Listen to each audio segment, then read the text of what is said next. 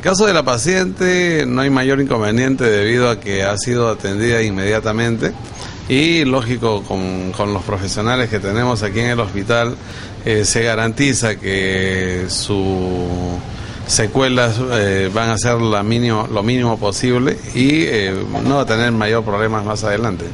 En el caso de un trabajador que le habría realizado la práctica que pertenecería a este, a este sector de salud, eso es lo que me he enterado y es una lástima en realidad de cómo alguien que podríamos calificarlo hasta de tonto eh, no aprovecha la oportunidad, la segunda oportunidad que le da la vida, cuando uno debería saber aprovechar de los errores para poder transformarlo en oportunidades para ir mejorando en el camino.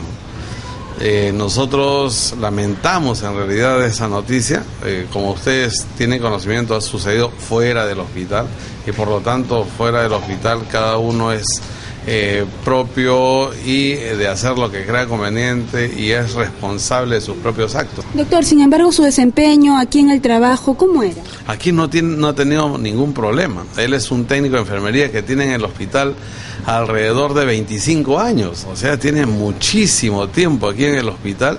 Es alguien que trabaja bien dentro del hospital eh, ha tenido mucha experiencia, lamentablemente la ha volcado hacia el, lado negativo, ¿no? Él es un personal de planta que vuelvo a repetir, tiene más de 25, tiene más tiempo de servicio que yo inclusive.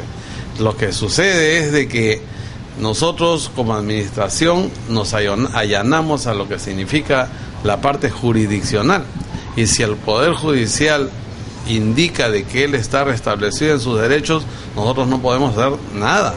Entonces, lógicamente, él se ha vuelto a reintegrar a sus labores normales y cotidianas y lo que ha vuelto a hacer fuera del nosocomio eh, tendrá sus implicancias y tendrá que responder ante esos malos actos.